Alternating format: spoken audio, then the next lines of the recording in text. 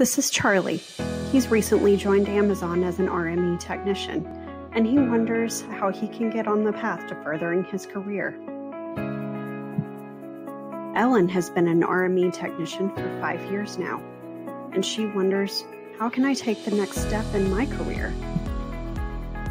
Carlos is an RME maintenance manager, and he begins to wonder how can I develop my technicians to reach their full potential?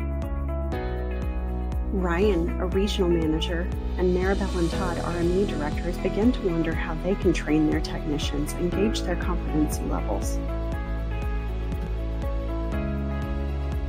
Charlie becomes determined to figure out the next step in his career as an RME technician, and he searches the Amazon portal and finds the Technician Asset Certification Program. Here he learns all the steps to becoming certified Charlie quickly learns that the TAC program addresses all his technical learning needs and gauges his current competencies. Charlie quickly jumps into his journey to becoming a certified technician, first with TAC 101, where he learns basic safety on a specific asset, then on to 201, where he learns preventative maintenance tasks, and finally to 301, where he learns and demonstrates through hands on experience. After completing training, Charlie takes his last assessment towards Technician Asset Certification, and he passes with flying colors.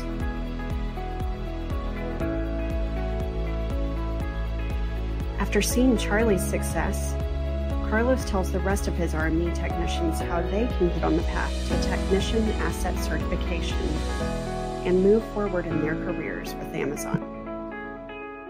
Carlos and the RME directors meet to discuss how their FC is doing in the Technician Asset Certification Program. They look on the technician heat map and discover their completion rate is extremely high, and proficiency and competency has increased magnificently.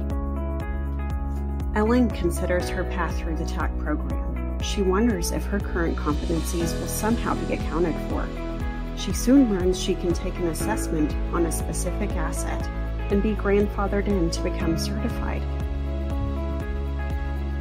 She takes an assessment on her specific asset, passes, and becomes certified. Charlie and Ellen have both now completed their Technician Asset Certification program. They can both now move forward in their careers as RME technicians. Congrats, guys! All the maintenance managers and RME directors meet to discuss the success of the Technician Asset Certification Program.